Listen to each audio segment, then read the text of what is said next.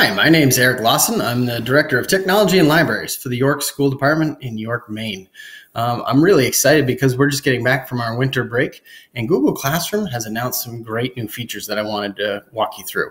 So, first of all, you'll notice that the user interface has changed a little bit. In fact, if I click on classwork right now, you can see it looks a lot different. It looks a little bit like Google Calendar for those of you who migrated over. Um, the great feature, though, and this proves they're listening to feedback I can take something like this ancestry project probably should be after the digital storytelling.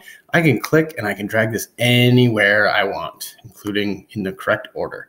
No more click on the arrows and go up or down one or two. I can absolutely click and drag these and rearrange the order. So that's perfect because it helps me stay organized. The other great thing is grades are still here. So if I click on the grades tab, I get this quick overview of things that have been graded, things that have been turned in, things that are still missing from all of my students. And if I go back to classwork, I can also look at the assignments. So it gives me this little preview of what's been turned in, assigned, and returned. I can click on view assignment. And on this left side, you'll see I have um, a quick little drawer that shows me what's been turned in, what's missing, and who's turned it in. I can also check here to see what's been graded, if, if the assignment's ungraded, or if I am grading it and what the point scale is. I also have the ability to go in and provide feedback for my students. So what I love about this is when I click on somebody's assignment, it opens it up in one tab. But instead of having multiple tabs, like I would have 25 tabs open, and anybody who works with me knows that I have a tab problem, um, I actually can keep it here within one tab and I can quickly just see all the people that are in my class who has turned it in, what's missing. I also can toggle left or right between what's been turned in, what's been missing. So I can easily just grade or provide feedback to all of my students without opening up extra tabs.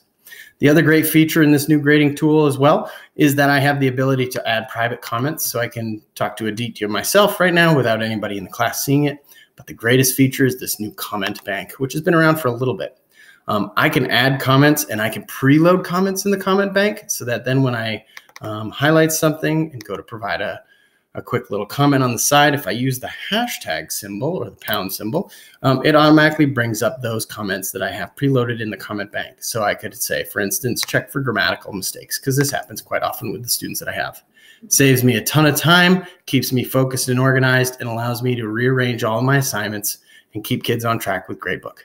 So I'm excited about these new opportunities that Google Classroom has come up with, and I hope you are too. See you soon.